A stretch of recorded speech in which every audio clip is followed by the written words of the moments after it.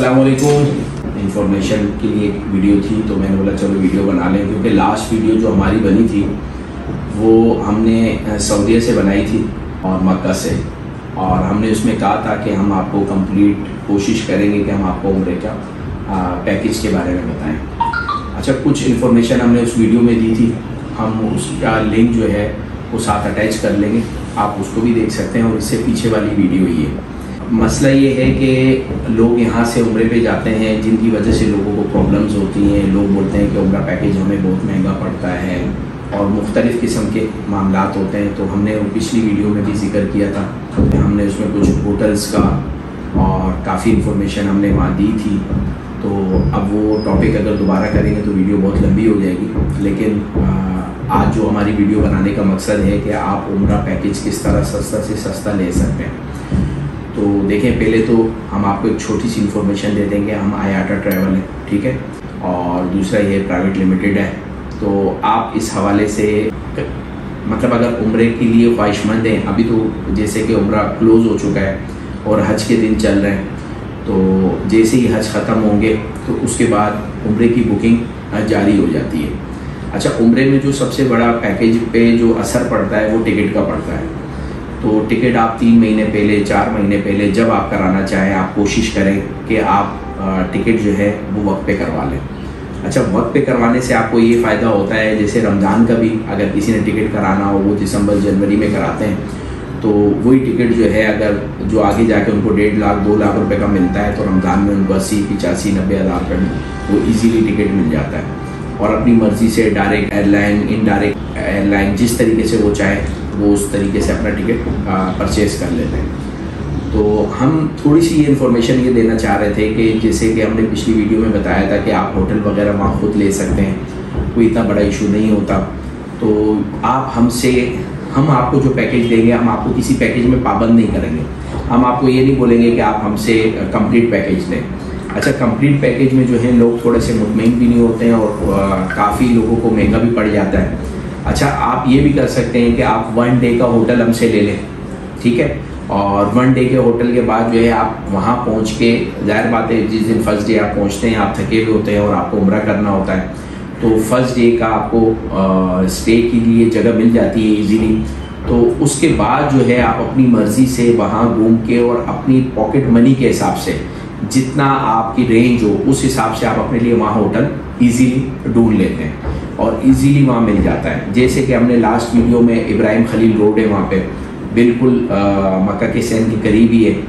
और वहाँ पे ऐसे होटल हैं जो मैंने बताए थे पिछली वीडियोस में कि सौ रियाल में भी मिल जाते हैं इजीली ठीक है? अच्छा सौ रियाल का मकसद ये नहीं होता कि सौ रियाल जो है वो एक बंदे पे डिपेंड होता है। वो सौ रियाल अगर आप रूम में चार लोग रह रहे हैं तो पच्चीस पच्चीस रियाल डिवाइड हो जाते हैं। अगर आप पाँच लोग रह रहे हैं तो पाँच लोग इजीली ऐसे बेड्स होते हैं कि जो पाँच बेड्स मिल जाते हैं तो पाँच लोग इजीली रह लेते हैं। तो वो आपको पर बंदा ही बीस रियाल में पड़ जाता है, जो कि बहुत ही सस्ता होता है। इतने में मेरे ख्याल से पाकिस्तान में भी आपको और रूम नहीं मिलता। और ज़ाहिर बात है वहाँ आप इबादत के लिए जाते हैं और आपने इबादत करनी होती है तो रूम्स में रहने से बेहतर है कि आप वहाँ पे ज़्यादा से ज़्यादा टाइम अगर आप मक्का में हैं तो मक्का में दें और मदीना में हैं तो मदीना में दें। ताकि आपकी जो इबादत का टाइम है वो आपका वहाँ यूज़ हो सके, आपका टाइम वेस्ट ना हो। क्योंकि टाइम वेस्ट करने के लिए कंट्री है, आप यहाँ आराम भी कर सकते हैं। और लेकिन वहाँ आप जिस मकसद के लिए गए, ताकि आपका वो मकसद पूरा हो। अब इस वीडियो के स्टार्टिंग में मैंने कहा था कि हम जो हैं, आपको थोड़ी सी इन्फॉर्मेशन देंगे कि आपको उम्र का पैकेज किस तरह सस्ता पड़ सकता है। तो वो हमारा टॉपिक ये है कि आप हमसे सिर्फ़ टिकट भी ले सकते हैं, अगर आप चाहें। ठीक है? और ज़्यादातर लोगों को वीज़े की प्रॉब्लम होती है तो आप हमसे सिर्फ़ वीज़ा भी ले सकते हैं। अब जैसे कि लास्ट अभी जो उम्र गुजरा है रमज़ान में तो 550 रियाल से लेके पाँच रियाल तक उम्र की चार्जेस जो है वो लोगों ने लिए हैं। अच्छा वैसे तो लोगों ने सात सात आठ आठ सौ लिए हैं। जो हमने लोगों को वीज़ा दिया है, हमने 550 में भी दिया है 540 में भी दिया है 560 70 में भी दिया है। तो ये मुख्तलिफ़ टाइम में मुख्तलिफ़ रेट होता रहा है। अच्छा इसमें ये फ़ायदा है कि आपने उसको कैलकुलेट कर दीजिएगा, उस डेट के हिसाब से आप खुद गूगल से भी देख सकते हैं कि रियाल का क्या रेट था। तो आपको बहुत कम रेट में वो उम्र वीज़ा मिल जाता है। अच्छा उम्र वीज़े में इंक्लूड ट्रांसपोर्ट फ्री होती है। उसमें आप मक्का उतरते हैं तो मक्का पहुँचने के बाद, जैसे कि आपको पता है कि मक्का पे जो है वो एयरपोर्ट नहीं है तो आप जद्दा पहुँचते हैं। तो जद्दा एयरपोर्ट से जो आपकी ट्रांसपोर्ट होती है मक्का तक की, वो भी उसमें फ्री होती है, ठीक है?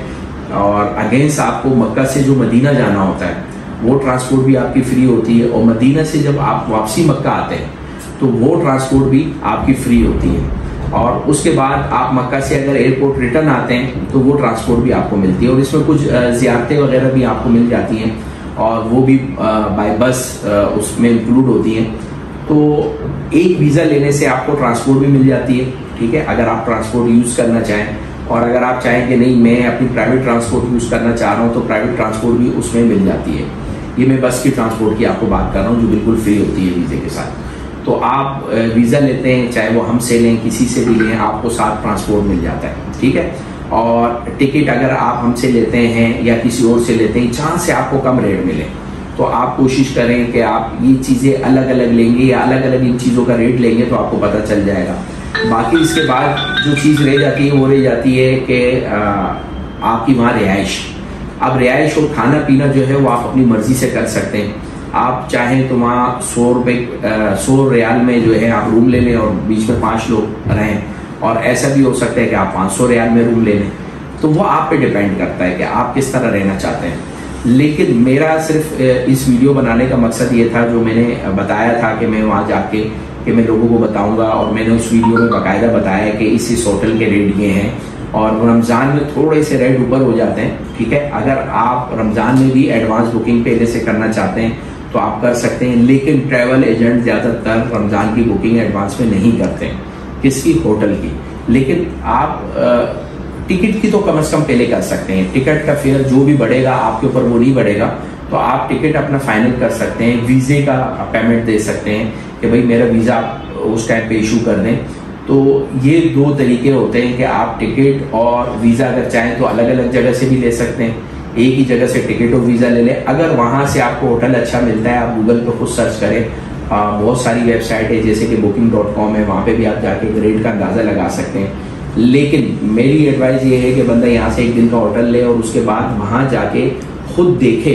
देखें वीडियोस में पिक्चर्स में होटल देखना और वहाँ रियल में देखने में बड़ा फ़र्क होता है। तो आप अगर वहाँ जाके खुद देखते हैं और एक अच्छा होटल आपको अच्छे रेट में मिल जाता है तो उम्र इतना महँगा है नहीं जितना हम लोगों ने पाकिस्तान वालों ने यहाँ से महँगा किया हुआ है। और लोगों की ऐसे भी मैंने लोग देखे हैं जो सालों साल चंद चंद पैसे जोड़ जोड़ के वो जमा करते हैं और उनकी ख्वाहिश होती है कि भाई हम अल्लाह के घर जाके अल्लाह का घर भी दीदार कर सकें और मदीना शरीफ हम जा सकें। तो हमारी लिए कोशिश ये है कि अगर हमारी ट्रैवल एजेंसी से एयर सर्कल ट्रैवल से किसी को सहूलत मिलती है तो हम आपको ये सर्विसेज़ देने को तैयार हैं। अच्छा इसमें जो वीज़े की प्रॉब्लम है, वो प्रॉब्लम ये है कि कराची वालों को तो हम इजीली वीज़ा दे सकते हैं, क्योंकि हमारी वीडियोस देख के अक्सर पंजाब से और मुख्तलिफ़ नॉर्दर्न एरिया से लोग कॉल करते हैं। उम्रे का चक्कर ये कि यहाँ से लोग उम्रे वीज़े पे जाते हैं और वहाँ जाके स्लिप हो जाते हैं। तो अगर वो वीज़ा हमारी कंपनी पे निकलता है तो उस पर हम पे फाइन भी होता है और हमारे लिए प्रॉब्लम होती है।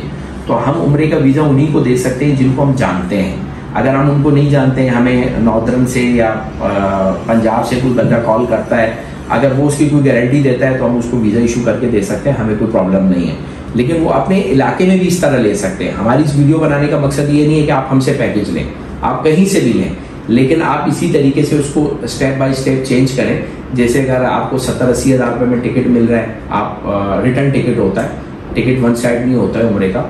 तो आप वो टिकट भी ले सकते हैं और साथ में वीज़ा ले सकते हैं। और साथ में होटल जो है आप वहाँ जाके इजीली ले लेते हैं। और खाना पीना भी वहाँ कोई ऐसा महँगा नहीं है। आ, पूरी दुनिया में ही महँगाई हो रही है और पाकिस्तान में भी महँगाई है। तो आप अपनी मर्ज़ी से अपने हिसाब से बजट के हिसाब से आप वहाँ खा पी भी सकते। हैं तो भाई इस चक्कर में ना पड़ें कि आप कंप्लीट पैकेज लें, जिसमें खाना खाना भी शामिल हो टिकट भी हो वीज़ा भी हो, और वहाँ जाके आपकी मर्ज़ी का होटल ही नहीं होता, आपको आखिरी कोने में फेंका हुआ होता है। और जहाँ पे आप आने जाने के लिए जो है रश भी होता है घंटा घंटा लग जाता है, गर्मी भी होती है। और दोबारा बंदा अगेंस्ट रूम नहीं जा सकता, अपनी इबादत रह जाती है। तो कोशिश ये करें कि आप ज़्यादा करीब से करीब आप वहाँ होटल लें, ताकि रूम आपका बिल्कुल करीब हो, ताकि आपको आने जाने में, इबादत करने में आपको तकलीफ़ ना हो। तो हम एक सदक़ जारिए समझ के वीडियो बना रहे हैं और आप सदक़ जारिए समझ के इस वीडियो को आगे शेयर करें कि अगर हमसे कोई वीज़ा लेना चाहे तो हमें कोई प्रॉब्लम नहीं है, हम उन्हें सिर्फ़ वीज़ा देंगे। हम दूसरे ट्रैवल एजेंट की तरह नहीं बोलेंगे कि नहीं, हम सिर्फ़ वीज़ा नहीं दे सकते। हम वीज़ा भी देंगे अगर वो सिर्फ़ हमसे टिकट लेना चाहें हम टिकट भी देंगे। अगर वो कंप्लीट पैकेज लेना चाहें वो उनकी मर्ज़ी है तो हम कंप्लीट पैकेज भी देंगे। तो ये एक छोटी सी इन्फॉर्मेशन वीडियो थी जो कि बहुत लंबी हो गई है उसके लिए माजरत है। और बाकी इस वीडियो को ज़्यादा से ज़्यादा शेयर करें ताकि अगर आपके किसी काम की नहीं हो किसी और के काम आ सके। और ये बनाना मेरे लिए ज़रूरी इसलिए था कि मैंने इस वीडियो का ज़िक्र किया था कि मैं आपको कंप्लीट बताऊँगा। अगर इसके बाद भी किसी के जहन में कोई आ, मतलब क्वेश्चन हो कोई इन्फॉर्मेशन लेना चाहे तो हमारे नंबर पे भी कांटेक्ट कर सकता है और हमें कमेंट्स में भी पूछ सकता है। इसके साथ इजाज़त चाहते हैं। अल्लाह हाफिज़।